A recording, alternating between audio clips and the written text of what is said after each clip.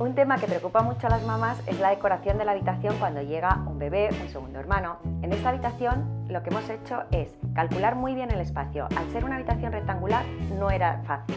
Pusimos una cama a continuación de la otra y quedó sitio para poner un escritorio en este lado, incluso en el otro lado para cuando lo necesitemos.